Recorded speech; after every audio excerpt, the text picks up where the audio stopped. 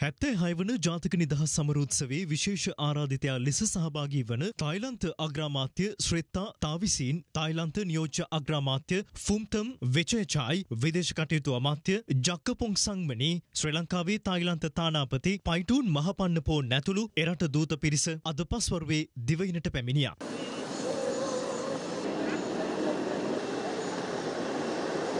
මෙරටට පැමිණි තායිලන්ත අග්‍රාමාත්‍යවරයා ප්‍රමුඛ දූත පිරිස අද පස්වරුවේ ජනාධිපති රනිල් වික්‍රමසිංහ හමු වුණා. ජනාධිපති කාර්යාලය වෙත පැමිණි තායිලන්ත අග්‍රාමාත්‍යවරයා ජනාධිපති රනිල් වික්‍රමසිංහ ඉතා මිත්‍රශීලී ලෙස පිළිගත් බවයි ජනාධිපති මාධ්‍යංශය සඳහන් කළේ. ආචාර්ය විඩිමුරු දහනමයක් සහිතව හමුදා උත්තමාචාර පිළිගන්වමින් අභිමානවත් අයුරින් මෙම පිළිගැනීම සිදු කෙරුණා.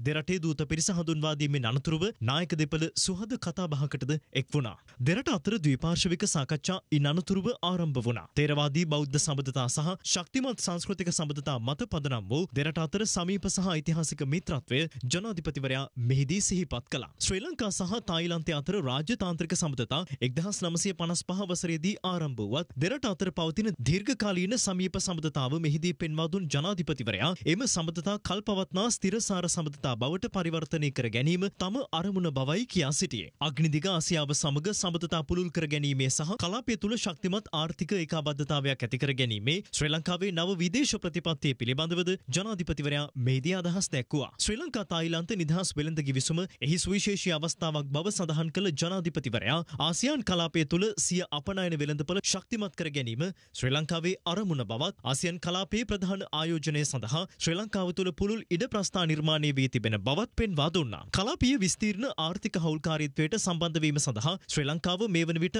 අයදුම් කර ඇති බවත් එහිදී තායිලන්තයේ සහය අපේක්ෂා කරන බවත් ජනාධිපතිවරයා සිහිපත් කළා. ආයෝජන දීවර සහ කෘෂිකාර්මික ක්ෂේත්‍රයට අදාළව දෙරට අතර සහයෝගීතාවය ශක්තිමත් කර ගැනීම පිළිබඳව මෙහිදී නායකින් දෙපළ සාකච්ඡා කළ අතර ජාත්‍යන්තර අපරාධ මැඩ පැවැත්වීම සඳහා බුද්ධි තොරතුරු හුවමාරු කර ගැනීමේදී දෙරට අතර සහයෝගීතා වැඩපිළිවෙලක අවශ්‍යතාවය නායකින් දෙපළම අවධාරණය කර සිටියා. මියන්මාරයේ මිනිස් ජාවාරම හේතුවෙන් හේතුවෙන් විපතට පත්ව සිටින ශ්‍රී ලාංකිකයින් යළි මෙරටට ගෙන්වා ගැනීම සඳහා ජනාධිපති රනිල් වික්‍රමසිංහ මෙහිදී තායි රජයෙන් සහය ඉල්ලා තිබෙනවා. බෞද්ධ ආගමික සංචාරක ව්‍යාපාරය වැඩි දියුණු කිරීම, සමුද්‍රීය සංචාරක ව්‍යාපාරය ප්‍රවර්ධනය කිරීම සහ දෙරට අතර ගුවන් සම්බන්ධතා වැඩි දියුණු කිරීම පිළිබඳවද දෙරටේ නායකයින් සාකච්ඡා කළ අතර සාමාන්‍ය විදේශ ගමන් බලපත්‍ර හිමියන් සඳහා විසා රහිතව දෙරට අතර ගමන් කිරීමට අවස්ථාව සැලසීමේ වැඩසටහනක් පිළිබඳවද මෙහිදී සාකච්ඡා පැවැත්වුණා.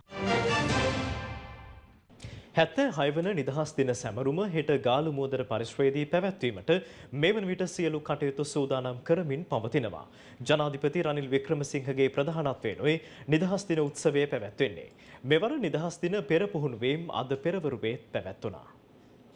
හදමු අලුත් රටක් යන තේමාව යටතේ හැත්තෑ හය වන ජාතික නිදහස් දින සැමරුම් උත්සවය ජනාධිපති රනිල් වික්‍රමසිංහගේ ප්‍රධානත්වයෙන් හෙට දිනේදී පැවැත්වීමට සියලු කටයුතු සූදානම් කරමින් පවතිනවා. ගාලු මුදුරදී පැවැත්වීමට නියමිත නිදහස් දින සැමරුමේ පෙර පුහුණුවීම් දින ගණනාවක් පැවති අතර අද පෙරවරුවේත් සිදු වුණා. නිදහස් සැමරුම් උළෙල අවසන් වන වේලාව දක්වාම විශේෂ රථවාහන සැලැස්මක්ද ක්‍රියාත්මක වනවා. මේ අනුතුරුව ඔබ ඉදිරියෙන් ගමන් කරන්නේ ශ්‍රී ලාංකීය ගුවන්තලයේ නීති ආරක්ෂකයා වන ශ්‍රී ලංකා ගුවන් හමුදා මේ අනුතුරුව ප්‍රධාන වේදිකාව ශ්‍රී ලංකා යුනිවර්සිටියේ නිර්මාණාත්මක හැකියාව ලොබට ප්‍රදර්ශනය අප ජීවිත ආරක්ෂා කරන්නට ඕන කරනවා. වෙන පාඩියේ ගමන් කරනවා. අභියෝගයේ හමුවේ ඉවසදී නිල් සාගරයේ විකුමන් දක්වන අසු අධිකාරී භාරයක් ඉටු කළ මීඩියා රාශිය හැකි මිලිමීටර් 37 වර්ගයේ අවේදගත් රථය දැන් දින බන්ධනාගාර ගතව සිටින රැදවියන් හත්සිය පනස් හතර දෙනෙකුට හෙටට යෙදෙන නිදහස් දිනය නිමිති කර ගනිමින් විශේෂ රාජ්‍ය සමාව ලබාදීමටද නියමිතයි. රටේ ලෝකෙ සිදුවන උණුසුම් පුව දැනගන්න සියත නිවස් YouTube චැනල් එක අදම සබස්ක්‍රයිබ් කරන්න.